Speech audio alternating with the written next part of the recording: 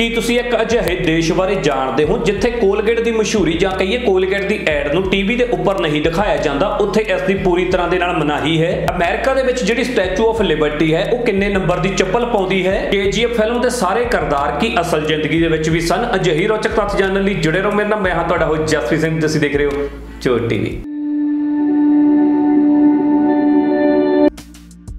Toothpaste ਨੂੰ ਕੌਣ ਨਹੀਂ ਜਾਣਦਾ? ਅੱਜ ਸ਼ਾਇਦ ਹੀ ਕੋਈ ਅਜਿਹਾ ਘਰ ਹੋਵੇ ਜਿਸ ਦੇ ਅੰਦਰ ਟੁੱਥਪੇਸਟ ਨਾ ਹੋਵੇ। ਪਰ ਪਹਿਲਾਂ ਅਜਿਹਾ ਨਹੀਂ ਸੀ। ਸਨ 1975 ਦੇ ਵਿੱਚ ਕੋਲਗੇਟ ਨੇ ਟੁੱਥਪੇਸਟ ਨੂੰ ਜਾਰ ਜਾਣੀ ਕਿ ਇੱਕ ਡੱਬੇ ਦੇ ਵਿੱਚ ਬੰਦ ਕਰਕੇ ਵੇਚਣਾ ਸ਼ੁਰੂ ਕੀਤਾ ਸੀ। ਕਿਉਂਕਿ ਉਸ ਟਾਈਮ ਕੋਲਗੇਟ ਦਾ ਮੰਨਣਾ ਸੀ ਕਿ ਡੱਬੇ ਦੇ ਵਿੱਚ ਕੋਲਗੇਟ ਵੇਚਣੀ ਜ਼ਿਆਦਾ ਪ੍ਰੈਜੈਂਟਿਵ ਲੱਗਦੀ ਹੈ। ਤੇ ਟੁੱਥਪੇਸਟ ਦੇ ਵਿੱਚ ਪਹਿਲਾਂ ਪਹਿਲਾਂ ਸਾਬਣ ਦੀ ਵਰਤੋਂ ਵੀ ਕੀਤੀ ਜਾਂਦੀ ਸੀ। ਪਰ 1980 ਤੋਂ ਬਾਅਦ ਇਸ ਦੇ ਵਿੱਚ ਸਾਬਣ ਦੀ ਜਗ੍ਹਾ ਤੇ ਦੂਜੀਆਂ ਚੀਜ਼ਾਂ ਦੀ ਵਰਤੋਂ ਕੀਤੀ ਜਾਣ ਲੱਗੀ। ਜਿਸ ਨੇ ਟੁੱਥਪੇਸਟ ਨੂੰ ਹੋਰ ਵੀ ਜ਼ਿਆਦਾ ਸਮੂਥ ਬਣਾ ਦਿੱਤਾ।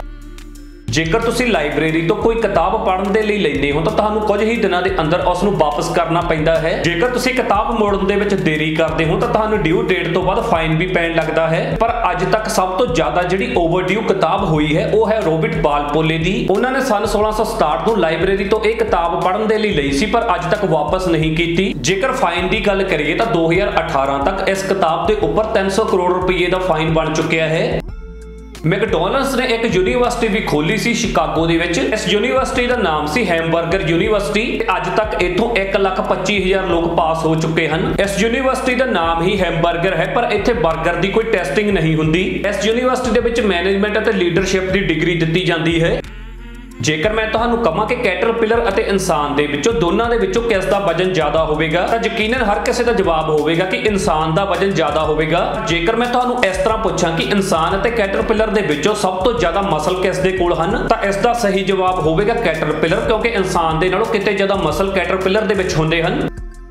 ਤੁਹਾਨੂੰ ਪਤਾ ਹੀ ਹੋਵੇਗਾ ਕਿ ਸਾਰੇ ਗ੍ਰਹਿ ਸੂਰਜ ਦੇ ਦੁਆਲੇ ਚੱਕਰ ਲਗਾਉਂਦੇ ਹਨ। ਪਰ ਕੀ ਤੁਹਾਨੂੰ ਪਤਾ ਹੈ ਕਿ ਕਿਹੜਾ ਗ੍ਰਹਿ ਸਭ ਤੋਂ ਜ਼ਿਆਦਾ ਤੇਜ਼ ਹੈ? ਜੇਕਰ ਨਹੀਂ ਪਤਾ ਤਾਂ ਤੁਹਾਨੂੰ ਦੱਸ ਦਿੰਨੇ ਹਾਂ ਕਿ ਯੂਪੀਟਰ ਗ੍ਰਹਿ ਸਭ ਤੋਂ ਜ਼ਿਆਦਾ ਤੇਜ਼ ਚੱਲਦਾ ਹੈ। ਇਸ ਦਾ ਦਿਨ ਸਿਰਫ 10 ਘੰਟਿਆਂ ਦਾ ਹੁੰਦਾ ਹੈ, ਯਾਨੀ ਕਿ 10 ਘੰਟਿਆਂ ਦੇ ਵਿੱਚ ਵਿੱਚ ਸੂਰਜ ਦਾ ਇੱਕ ਚੱਕਰ ਲਗਾ ਦਿੰਦਾ ਹੈ ਤੇ ਜਦੋਂ ਧਰਤੀ ਸੂਰਜ ਦੇ ਚੱਕਰ ਲਗਾਉਂਦੀ ਲਗਾਉਂਦੀ 1 ਸਾਲ ਪੂਰਾ ਕਰਦੀ ਹੈ, ਉਦੋਂ ਤੱਕ ਯੂਪੀਟਰ ਗ੍ਰਹਿ ਆਪਣੇ 3 ਸਾਲ ਪੂਰੇ ਕਰ ਦਿੰਦਾ ਹੈ।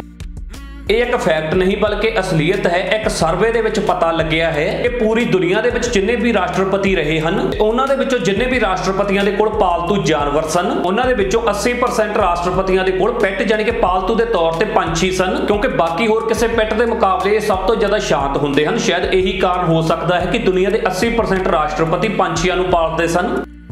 ਹੁਣ ਤੁਹਾਨੂੰ ਦੱਸਦੇ ਹਾਂ ਕਿ ਜਿਹੜੀ ਸਟੈਚੂ ਆਫ ਲਿਬਰਟੀ ਹੈ, ਉਹ ਕਿੰਨੇ ਨੰਬਰ ਦੀ ਚੱਪਲ ਪਾਉਂਦੀ ਹੈ? ਸਟੈਚੂ ਆਫ ਲਿਬਰਟੀ 879 ਨੰਬਰ ਦੀ ਚੱਪਲ ਪਾਉਂਦੀ ਹੈ। ਅਸਲ ਦੇ ਵਿੱਚ ਸਟੈਚੂ ਆਫ ਲਿਬਰਟੀ ਨੇ ਜਿਹੜੀ ਚੱਪਲ ਪਾਈ ਹੋਈ ਹੈ ਉਸ ਦਾ ਸਾਈਜ਼ ਇੰਨਾ ਹੈ।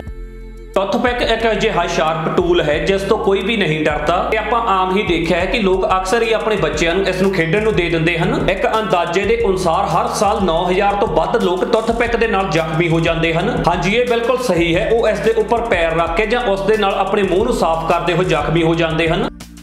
2021 ਤੱਕ ਯੂਐਸਏ ਜਾਨੀ ਕਿ ਅਮਰੀਕਾ ਦੇ 46 ਰਾਸ਼ਟਰਪਤੀ ਰਹਿ ਚੁੱਕੇ ਹਨ। 30 ਅਪ੍ਰੈਲ 1799 ਤੋਂ ਲੈ ਕੇ ਅੱਜ ਤੱਕ ਅਮਰੀਕਾ ਦੇ ਇਤਿਹਾਸ ਦੇ ਵਿੱਚ ਇੱਕ ਵੀ ਰਾਸ਼ਟਰਪਤੀ ਦਾ ਨਾਮ ਐਸ ਅੱਖਰ ਤੋਂ ਨਹੀਂ ਪੈਂਦਾ। ਅਮਰੀਕਾ ਦੇ ਵਿੱਚ ਅੱਜ ਤੱਕ ਜਿੰਨੇ ਵੀ ਰਾਸ਼ਟਰਪਤੀ ਚੁਣੇ ਗਏ ਹਨ, ਉਹਨਾਂ ਦੇ ਵਿੱਚ ਜ਼ਿਆਦਾਤਰ ਰਾਸ਼ਟਰਪਤੀਆਂ ਦੇ ਨਾਮ ਦੇ ਅੱਗੇ ਟੀ ਐਚ ਜਾਂ ਜੇ ਹੁੰਦਾ ਹੈ। ਡਾਲਫਿਨ ਇਨਸਾਨ ਤੋਂ ਬਾਅਦ ਦੂਜੇ ਨੰਬਰ ਤੇ ਸਭ ਤੋਂ ਜ਼ਿਆਦਾ ਸਮਝਦਾਰ ਜਾਨਵਰਾਂ ਦੇ ਵਿੱਚੋਂ ਇੱਕ ਹੈ। ਡਾਲਫਿਨ ਸਿਆਣੀ ਤਾਂ ਬਹੁਤ ਜ਼ਿਆਦਾ ਹੁੰਦੀ ਹੈ, ਪਰ ਉਹ ਸਰੀਰਕ ਤੌਰ ਤੇ ਇੰਨੀ ਜ਼ਿਆਦਾ ਤਾਕਤਵਰ ਨਹੀਂ ਹੁੰਦੀ। ਇਸ ਕਰਕੇ ਉਸ ਦੇ ਉੱਪਰ ਹਮੇਸ਼ਾ ਸ਼ਿਕਾਰ ਦਾ ਖਤਰਾ ਬਣਿਆ ਰਹਿੰਦਾ ਹੈ ਦੂਜੇ ਜਾਨਵਰਾਂ ਤੋਂ। ਇਸ ਕਰਕੇ ਡਾਲਫਿਨ ਆਪਣੇ ਆਪ ਨੂੰ ਸੁਰੱਖਿਅਤ ਰੱਖਣ ਦੇ ਲਈ ਸੌਂਦੇ ਸਮੇਂ ਵੀ ਆਪਣੀ ਇੱਕ ਅੱਖ ਖੁੱਲੀ ਰੱਖ ਕੇ ਸੌਂਦੀ ਹੈ, ਤਾਂ ਜੋ ਥੋੜੀ ਬਹੁਤੀ ਹਲਚਲ ਹੋਣ ਤੇ ਵੀ ਉਹ ਛੇਤੀ ਦੇ ਨਾਲ ਉੱਥੋਂ ਭੱਜ ਸਕੇ। ਅੱਜ ਤੱਕ ਤੁਸੀਂ ਜਿੰਨੇ ਵੀ ਜਾਨਵਰ ਦੇਖੇ ਹੋਣਗੇ, ਉਹਨਾਂ ਨੂੰ ਤੁਸੀਂ ਆਪਣੇ ਪੈਰਾਂ ਦੇ ਉੱਪਰ ਤੁਰਦੇ ਦੇਖਿਆ ਹੋਵੇਗਾ। ਜਿਵੇਂ ਕਿ ਹਾਥੀ ਤੋਂ ਲੈ ਕੇ ਮਗਰਮੱਛ, ਇਹ ਸਾਰੇ ਆਪਣੇ ਪੈਰਾਂ ਦੇ ਉੱਪਰ ਤੁਰਦੇ ਹਨ। ਪਰ ਮੈਂ ਇੱਥੇ ਦਾਅਵੇ ਨਾਲ ਕਹਿ ਸਕਦਾ ਹਾਂ ਕਿ ਤੁਸੀਂ ਕਦੇ ਵੀ ਚਮਗਿੱਦੜ ਨੂੰ ਤੁਰਦੇ ਨਹੀਂ ਦੇਖਿਆ ਹੋਵੇਗਾ। ਤੁਸੀਂ ਟਰਾਈ ਕਰਕੇ ਦੇਖ ਲਓ, ਚਾਹੇ ਤੁਸੀਂ ਇੰਟਰਨੈਟ ਦੇ ਉੱਪਰ ਵੀ ਟਰਾਈ ਕਰ ਲਓ, ਤਾਂ ਵੀ ਤੁਹਾਨੂੰ ਚਮਗਿੱਦੜ ਕਿਤੇ ਵੀ ਤੁਰਦਾ ਹੋਇਆ ਦਿਖਾਈ ਨਹੀਂ ਦੇਵੇਗਾ। ਚਮਗਿੱਦੜ ਦੇ ਪੈਰ ਤਾਂ ਹੁੰਦੇ ਨੇ, ਪਰ ਉਸ ਦੀਆਂ ਲੱਤਾਂ ਦੀਆਂ ਹੱਡੀਆਂ ਇੰਨੀਆਂ ਜ਼ਿਆਦਾ ਪਤਲੀਆਂ ਹੁੰਦੀਆਂ ਨੇ ਕਿ ਉਹ ਉਹਨਾਂ ਦੇ ਸਹਾਰੇ ਤੁਰ ਨਹੀਂ ਸਕਦਾ।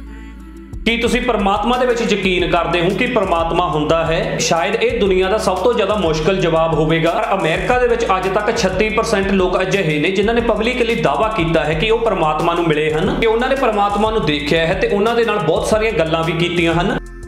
ਜੇਕਰ ਅੱਜ ਤੁਸੀਂ ਕਿਸੇ ਦੀ ਫੋਟੋ ਖਿੱਚਣੀ ਚਾਹੁੰਦੇ ਹੋ ਤਾਂ ਇਹ ਕਾਫੀ ਜ਼ਿਆਦਾ ਸੌਖਾ ਹੈ। ਬਸ ਤੁਸੀਂ ਆਪਣਾ ਫੋਨ ਕੱਢੋ ਅਤੇ ਕਲਿੱਕ ਕਰ ਲਵੋ। ਪਰ ਅੱਜ ਤੋਂ ਲਗਭਗ 50 ਸਾਲ ਪਹਿਲਾਂ ਇਹ ਇੰਨਾ ਜ਼ਿਆਦਾ ਸੌਖਾ ਨਹੀਂ ਸੀ। ਜੇਕਰ ਆਪਾਂ ਇਸ ਤੋਂ ਥੋੜਾ ਜਿਹਾ ਹੋਰ ਪਿੱਛੇ ਜਾਈਏ, ਜਿਹੜਾ ਸਭ ਤੋਂ ਪਹਿਲਾਂ ਕੈਮਰਾ ਬਣਿਆ ਸੀ, ਉਸ ਵਿੱਚ ਜੇਕਰ ਤੁਸੀਂ ਫੋਟੋ ਖਿਚਵਾਉਣੀ ਸੀ ਤਾਂ ਤੁਹਾਨੂੰ 8 ਘੰਟੇ ਬਿਲਕੁਲ ਸਿੱਧਾ ਬੈਠਣਾ ਪੈਂਦਾ ਸੀ। ਜੇਕਰ ਇਸ ਸਮੇਂ ਦੇ ਵਿੱਚ ਤੁਸੀਂ ਹਿੱਲ ਜਾਂਦੇ ਹੋ ਜਾਂ ਤੁਰ ਪੈਂਦੇ ਹੋ ਤਾਂ ਤੁਹਾਨੂੰ ਫਿਰ ਤੋਂ 8 ਘੰਟੇ ਲਗਾਤਾਰ ਕੈਮਰੇ ਦੇ ਸਾਹਮਣੇ ਬੈਠਣਾ ਪੈਣਾ ਸੀ ਫੋਟੋ ਕਰਵਾਉਣ ਦੇ ਲਈ। ਇਸ ਕਰਕੇ ਪਹਿਲਾਂ ਵਾਲੇ ਸਮੇਂ ਦੇ ਵਿੱਚ ਪੇਂਟਿੰਗ ਜ਼ਿਆਦਾ ਚੱਲਦੀਆਂ ਸੀ। ਫੋਟੋ ਖਿੱਚਣ ਦੇ ਮੁਕਾਬਲੇ ਇਹ ਕਾਫੀ ਜ਼ਿਆਦਾ ਸੌਖੀਆਂ ਵੀ ਸਨ।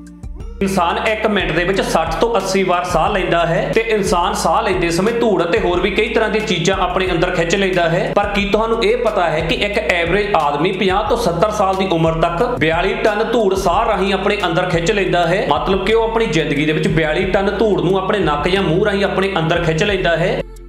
ਸਾਲ 1976 ਤੱਕ ਲੋਕ ਇਹ ਚੀਜ਼ ਮੰਨਦੇ ਸਨ ਕਿ ਇਨਸਾਨ ਦਾ ਦਿਮਾਗ ਉਨਾ ਜ਼ਿਆਦਾ ਵੱਡਾ ਹੁੰਦਾ ਜਾਂਦਾ ਹੈ, ਜਿੰਨੀਆਂ ਜ਼ਿਆਦਾ ਉਹ ਚੀਜ਼ਾਂ ਸਿੱਖਦਾ ਜਾਂਦਾ ਹੈ ਤੇ ਜਿੰਨਾ ਇਨਸਾਨ ਸਿੱਖੇਗਾ ਉਸ ਦਾ ਦਿਮਾਗ ਉਨਾ ਜ਼ਿਆਦਾ ਵੱਡਾ ਹੁੰਦਾ ਜਾਵੇਗਾ। ਪਰ ਇਹ ਬਿਲਕੁਲ ਗਲਤ ਹੈ ਸਨ 1977 ਦੇ ਵਿੱਚ ਹੋਈ ਇੱਕ ਖੋਜ ਦੇ ਦੌਰਾਨ ਇਹ ਪਤਾ ਲੱਗਿਆ ਹੈ ਕਿ ਇਨਸਾਨ ਦੇ ਦਿਮਾਗ ਦਾ ਸਾਈਜ਼ ਸਿਰਫ 15 ਸਾਲ ਦੀ ਉਮਰ ਤੱਕ ਵੱਧਦਾ ਹੈ ਤੇ 15 ਸਾਲ ਦੀ ਉਮਰ ਤੋਂ ਬਾਅਦ ਇਨਸਾਨ ਦੇ ਦਿਮਾਗ ਦਾ ਆਕਾਰ ਵਧਣਾ ਬੰਦ ਹੋ ਜਾਂਦਾ ਹੈ। ਸਭ ਤੋਂ ਜ਼ਰੂਰੀ ਗੱਲ ਇਹ ਹੈ ਕਿ ਦਿਮਾਗ ਦੇ ਆਕਾਰ ਦਾ ਤੇ ਤੁਹਾਡੀ ਯਾਦ ਸ਼ਕਤੀ ਦਾ ਕੋਈ ਆਪਸ ਦੇ ਵਿੱਚ ਕਨੈਕਸ਼ਨ ਨਹੀਂ ਹੈ।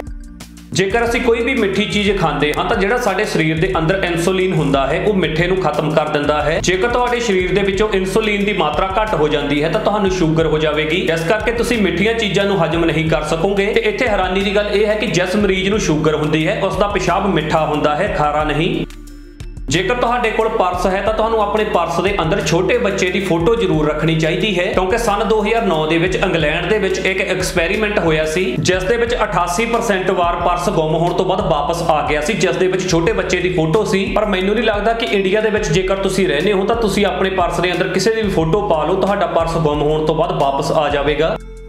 ਕੀ ਤੁਹਾਨੂੰ ਪਤਾ ਹੈ ਕਿ ਚੰਦ ਦੇ ਉੱਪਰ ਇਸ ਸਮੇਂ ਤਿੰਨ ਗੋਲਫ ਦੀਆਂ ਬੌਲਾਂ ਮੌਜੂਦ ਹਨ? ਇਹ ਕੰਮ ਐਸਟ੍ਰੋਨੌਟ ਐਲਨ ਸ਼ੈਫਰਡ ਦਾ ਹੈ। ਐਲਨ ਸ਼ੈਫਰਡ ਜਦੋਂ ਚੰਦ ਤੋਂ ਧਰਤੀ ਦੇ ਉੱਪਰ ਆਉਣ ਦੇ ਲਈ ਤਿਆਰ ਹੋ ਰਹੇ ਸਨ, ਤਾਂ ਉਹਨਾਂ ਨੇ ਚੰਦ ਦੇ ਉੱਪਰ ਫਨ ਦੇ ਲਈ ਇੱਕ ਆਇਰਨ ਰੋਡ ਦੇ ਅੱਗੇ ਸਕੈਨਰ ਲਗਾ ਕੇ ਤਿੰਨ ਗੋਲਫ ਬੌਲਾਂ ਨੂੰ ਸ਼ੂਟ ਕੀਤਾ। ਇਸ ਤਰ੍ਹਾਂ ਉਹ ਦੁਨੀਆ ਦੇ ਪਹਿਲੇ ਆਦਮੀ ਬਣ ਗਏ ਜਿਨ੍ਹਾਂ ਨੇ ਚੰਦ ਦੇ ਉੱਪਰ ਗੋਲਫ ਖੇਲੀ ਹੈ। ਜੇਕਰ ਕੋਈ ਇਨਸਾਨ ਅਪਰਾਧ ਯਾਨੀ ਕਿ ਕੋਈ ਗਲਤੀ ਕਰਦਾ ਹੈ ਤਾਂ ਉਸ ਨੂੰ ਜੇਲ੍ਹ ਦੇ ਵਿੱਚ ਰੱਖਿਆ ਜਾਂਦਾ ਹੈ। ਪਰ ਜੇਕਰ ਕੋਈ ਜਾਨਵਰ ਗਲਤੀ ਕਰਦਾ ਹੈ ਤਾਂ ਉਸ ਨੂੰ ਵੀ ਕਈ ਯੂਰਪੀ ਦੇਸ਼ਾਂ ਦੇ ਵਿੱਚ ਸਜ਼ਾ ਮਿਲਦੀ ਹੈ। ਇਹਨਾਂ ਦੇਸ਼ਾਂ ਦੇ ਵਿੱਚ ਕੁੱਤਾ, ਘੋੜਾ ਤੇ ਮੱਛੀ ਨੂੰ ਵੀ ਸਜ਼ਾ ਦਿੱਤੀ ਜਾ ਚੁੱਕੀ ਹੈ। ਜਿਵੇਂ ਕਿ ਇਟਲੀ ਦੇ ਵਿੱਚ ਇੱਕ ਗ੍ਰਾਸ ਕੂਪਰ ਜਿਹਨੂੰ ਆਪਾਂ ਟਿੱਡਾ ਵੀ ਕਹਿੰਦੇ ਹਾਂ ਉਸ ਨੂੰ ਵੀ ਉਮਰ ਕੈਦ ਦੀ ਸਜ਼ਾ ਦਿੱਤੀ ਗਈ ਸੀ, ਜਿਹੜੀ ਕਿ 1 ਮਹੀਨੇ ਤੱਕ ਚੱਲੀ, ਉਸ ਤੋਂ ਬਾਅਦ ਟਿੱਡੇ ਦੀ ਮੌਤ ਹੋ ਗਈ। ਆਸਟ੍ਰੇਲੀਆ ਦੀ ਸਟੇਟ ਵਿਕਟੋਰੀਆ ਦੇ ਵਿੱਚ ਇੱਕ ਕਾਫੀ ਜ਼ਿਆਦਾ ਅਜੀਬ ਕਾਨੂੰਨ ਹੈ, ਜਿਸ ਨੂੰ ਸੁਣ ਕੇ ਤੁਸੀਂ ਵੀ ਹੈਰਾਨ ਰਹਿ ਜਾਓਗੇ। ਵਿਕਟੋਰੀਆ ਦੇ ਵਿੱਚ ਇੱਕ ਪ੍ਰੋਫੈਸ਼ਨਲ ਐਜੂਕੇਟਡ ਇਲੈਕਟ੍ਰੀਸ਼ੀਅਨ ਨੂੰ ਹੀ ਖਰਾਬ ਬਲਬ ਬਦਲਣ ਦੀ ਇਜਾਜ਼ਤ ਹੈ। ਇੰਡੀਆ ਦੇ ਵਿੱਚ ਅਜਿਹਾ ਕੰਮ ਛੋਟੇ ਤੋਂ ਛੋਟਾ ਬੱਚਾ ਵੀ ਕਰ ਲੈਂਦਾ ਹੈ। ਪਰ ਆਸਟ੍ਰੇਲੀਆ ਦੀ ਸਟੇਟ ਵਿਕਟੋਰੀਆ ਦੇ ਵਿੱਚ ਜੇਕਰ ਤੁਹਾਡਾ ਬਲਬ ਖਰਾਬ ਹੁੰਦਾ ਹੈ, ਤਾਂ ਤੁਹਾਨੂੰ ਪ੍ਰੋਫੈਸ਼ਨਲ ਇਲੈਕਟ੍ਰੀਸ਼ੀਅਨ ਨੂੰ ਹੀ ਸੱਦਣਾ ਪਵੇਗਾ ਉਸ ਨੂੰ ਚੇਂਜ ਕਰਨ ਦੇ ਲਈ। ਕੋਲਗੇਟ ਇਸ ਦੀ ਐਡ ਤਾਂ ਤੁਸੀਂ ਆਪਣੇ ਟੀਵੀ ਦੇ ਉੱਪਰ ਜ਼ਰੂਰ ਦੇਖੀ ਹੋਵੇਗੀ ਤੇ ਕੋਲਗੇਟ ਦੀ ਇਹ ਐਡ ਪੂਰੀ ਦੁਨੀਆ ਦੇ ਵਿੱਚ ਚੱਲਦੀ ਹੈ, ਇਕੱਲੇ ਸਪੇਨ ਨੂੰ ਛੱਡ ਕੇ। ਇਹ ਇਕੱਲਾ ਜਿਹਾ ਦੇਸ਼ ਹੈ ਜਿੱਥੇ ਕੋਲਗੇਟ ਦੀ ਮਸ਼ਹੂਰੀ ਟੀਵੀ ਦੇ ਉੱਪਰ ਨਹੀਂ ਦਿੱਤੀ ਜਾਂਦੀ। ਇਸ ਦਾ ਕਾਰਨ ਇਹ ਹੈ ਕਿ ਜੇਕਰ ਕੋਲਗੇਟ ਨੂੰ ਸਪੈਨਿਸ਼ ਭਾਸ਼ਾ ਦੇ ਵਿੱਚ ਟਰਾਂਸਲੇਟ ਕਰੀਏ ਤਾਂ ਇਸ ਦਾ ਮਤਲਬ ਹੁੰਦਾ ਹੈ ਗੋ ਹੈਂਗ ਯੂਅਰਸੈਲਫ ਤੇ ਕੋਈ ਵੀ ਦੇਸ਼ ਅਜਿਹੀ ਚੀਜ਼ ਨੂੰ ਟੀਵੀ ਦੇ ਉੱਪਰ ਨਹੀਂ ਦੱਸਣਾ ਚਾਹੇਗਾ। ਜਿਹੜਾ ਤੁਹਾਨੂੰ ਸਕਰੀਨ ਦੇ ਉੱਪਰ ਉੱਲੂ ਦਿਖਾਈ ਦੇ ਰਿਹਾ ਹੈ, ਇਸ ਨੂੰ ਸਨੋ ਆਉਲ ਕਹਿੰਦੇ ਹਨ। ਇਸ ਦੀ ਸਭ ਤੋਂ ਜ਼ਿਆਦਾ ਖਾਸ ਗੱਲ ਇਹ ਹੈ ਕਿ ਇਹ ਜ਼ਮੀਨ ਤੋਂ 0.5 ਸੈਂਟੀਮੀਟਰ ਦੀ ਉਚਾਈ ਤੱਕ ਹੀ ਉੱਡ ਸਕਦੇ ਹਨ। ਇਹ ਇਸ ਤੋਂ ਜ਼ਿਆਦਾ ਉਚਾਈ ਦੇ ਉੱਪਰ ਨਹੀਂ ਉੱਡ ਸਕਦੇ। ਕੇਜੀਐਫ ਭਾਵ ਕੇ ਕੁਲਾਰ ਗੋਲਡਫੀਲਡ, ਇਸ ਫਿਲਮ ਨੇ ਪੂਰੇ ਇੰਡੀਆ ਦੇ ਵਿੱਚ ਆਪਣੀ ਕਮਾਈ ਦਾ ਡਾਂਕਾ ਵਜਾਇਆ ਸੀ। ਅਸਲੀਅਤ ਦੇ ਵਿੱਚ ਇਹ ਇੱਕ ਅਸਲ ਕੋਲੇ ਦੀ ਖਾਣ ਦੀ ਕਹਾਣੀ ਹੈ। ਇਹ ਕੋਲੇ ਦੀ ਮਾਈਨਿੰਗ ਦਾ ਏਰੀਆ ਹੈ ਜਿਸ ਨੂੰ 골ਡ ਹੈਵਨ ਵੀ ਕਿਹਾ ਜਾਂਦਾ ਹੈ। ਪਰ ਹੁਣ ਇਸ ਟਾਈਮ ਇੱਥੇ ਮਾਈਨਿੰਗ ਨਹੀਂ ਹੁੰਦੀ ਤੇ ਹੁਣ ਸਵਾਲ ਇਹ ਉੱਠਦਾ ਹੈ ਕਿ ਇਸ ਫਿਲਮ ਦਾ ਹੀਰੋ ਜਿਹੜਾ ਰੌਕੀ ਹੈ, ਅਸਲ ਜ਼ਿੰਦਗੀ ਦੇ ਵਿੱਚ ਉਸ ਦਾ ਨਾਮ ਕੀ ਹੈ? ਇਸ ਇਨਸਾਨ ਦਾ ਅਸਲ ਦੇ ਵਿੱਚ ਨਾਮ ਸੀ ਰੌਡੀ ਥਨਗੰਬਾ ਜਿਸ ਨੇ ਇੱਕ ਗਰੁੱਪ ਬਣਾਇਆ ਹੋਇਆ ਸੀ ਤੇ ਇਹ ਗਰੁੱਪ ਗੈਰ ਕਾਨੂੰਨੀ ਕੋਲੇ ਦੀ ਮਾਈਨਿੰਗ ਕਰਦਾ ਸੀ ਤੇ ਬਾਅਦ ਦੇ ਵਿੱਚ ਉਸ ਨੂੰ ਗੋਲੀ ਮਾਰ ਕੇ ਮਾਰ ਦਿੱਤਾ ਗਿਆ ਸੀ। ਇਹ ਸੀ ਕੁਝ ਅਜਿਹੇ ਰੌਚਕ ਤੱਥ ਜਿਸ ਦੁਨੀਆ ਦੇ ਵਿੱਚ ਆਪਾਂ ਰਹਿੰਦੇ ਹਾਂ, ਉਸ ਦੇ ਬਾਰੇ ਤੁਹਾਨੂੰ ਸਾਡੀ ਵੀਡੀਓ ਕਿੱਦਾਂ ਲੱਗੀ ਕਮੈਂਟ ਕਰਕੇ ਜਰੂਰ ਦੱਸਣਾ। ਧੰਨਵਾਦ।